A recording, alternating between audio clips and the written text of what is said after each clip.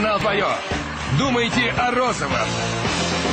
Не может быть! Это как катастрофа! Что происходит со мной? Или я сошла с ума? Не может быть! Где была реальность?